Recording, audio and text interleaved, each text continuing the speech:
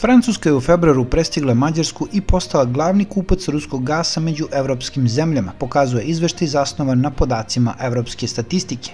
Francuska je u februaru od Rusije kupila tečni prirodni gas LNG u vrednosti od 322,3 miliona evra, što je 10% više nego prethodnog meseca. Ta kupovina ju je glavnim uvoznikom ruskog gasa u Evropskoj uniji, što se poslednji put desilo u novembru 2023. godine.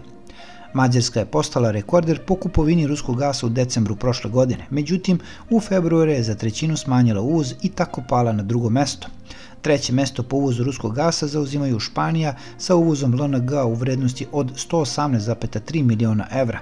Država koja je u februaru najviše povećala kupovinu ruskog gasa, čak 7,8 puta, e, na 110,4 miliona evra je Grčka, a slede NATO članice Finska i Švedska koje su udvostručile kupovinu 6,6 i 4,7 miliona evra. Evropsko tržište istorijski bilo glavno za ruske proizvođače gasa.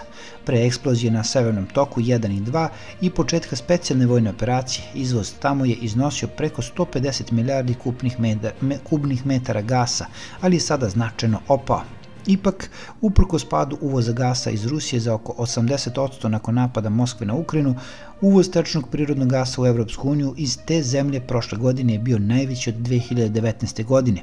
Uvoz tečnog prirodnog gasa iz Rusije iz, u zemlje Evropske unije u 2022. godini porastao je za 35% u odnosu na prethodnu godinu. Takođe, uvoz LNG je postigao trogodišnji maksimum od 19,2 milijarde kubnih metara i porastao je u odnosu na obim iz 2020. godine za 31%.